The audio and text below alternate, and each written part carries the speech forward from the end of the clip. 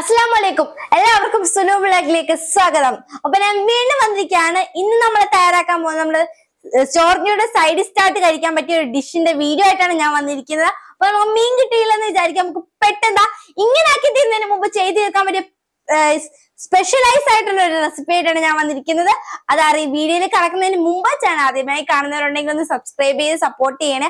ഞങ്ങളുടെ family member ആവാൻ വേണ്ടി സബ്സ്ക്രൈബ് ചെയ്യുക. പിന്നെ വീഡിയോ നോട്ടിഫിക്കേഷൻ ആയി ലഭിക്കണമെങ്കിൽ ബെലൈക്കൺ ഓപ്ഷൻ എനേബിൾ ചെയ്ത് വെക്കുക. നിങ്ങളുടെ ഓരോരുത്തരെയും സപ്പോർട്ട് ആ ലൈക്ക് ബട്ടൺ ഒന്ന് ക്ലിക്ക് ചെയ്ത് വെക്കുക. അപ്പൊ നിങ്ങൾ നിങ്ങൾക്ക് എന്തെങ്കിലും അഭിപ്രായം ഉണ്ടെങ്കിൽ താരെ കമന്റ് ബോക്സിലൂടെ അറിയിക്കുക. ഇതെല്ലാവർക്കും വീഡിയോ ഒന്ന് ഷെയർ ചെയ്ത് കൊടുക്കുക. അപ്പോൾ ആ സൈഡിന്റെ റെസിപ്പി അറിയണ്ടേ? അപ്പൊ വീഡിയോ കയറുന്നാലോ?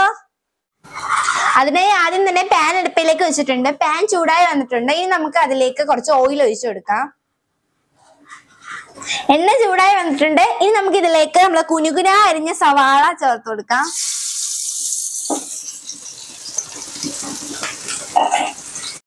സവാള വഴന്ന് വന്നിട്ടുണ്ട്. ഇനി നമുക്ക് ഇതിലേക്ക് ഒരു സ്പൂൺ മുളക് പൊടി ചേർത്ത് കൊടുക്കാം.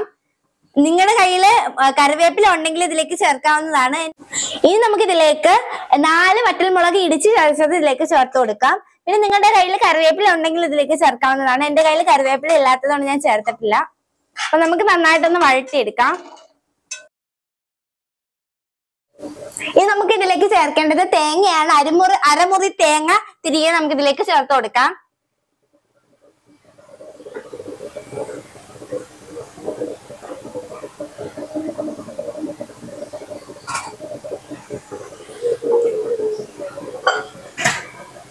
ഇനി നമുക്കൊന്ന് ഇളക്കിയെടുക്കാം.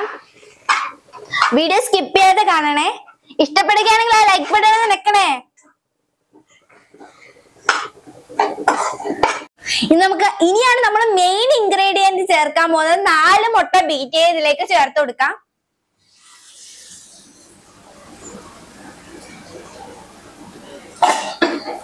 നിങ്ങൾക്ക് വീഡിയോ ഇഷ്ടപ്പെടുകയാണെങ്കിൽ ഞങ്ങളുടെ ഫാമിലി മെമ്പർ ആവാൻ മറക്കരുതേ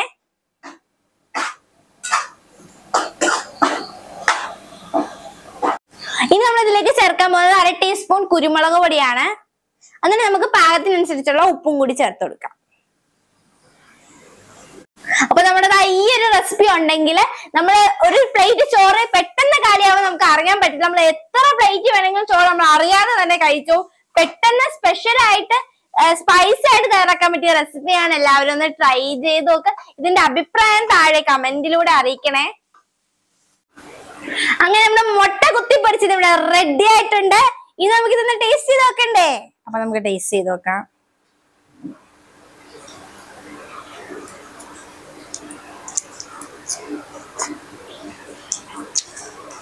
നല്ല സ്പൈസി ആയിട്ടുണ്ട്. എനിക്ക് ഇഷ്ടപ്പെട്ടു നിങ്ങൾ എല്ലാവരും ട്രൈ ചെയ്ത് സ്പൈസി ആയിട്ടുണ്ട്.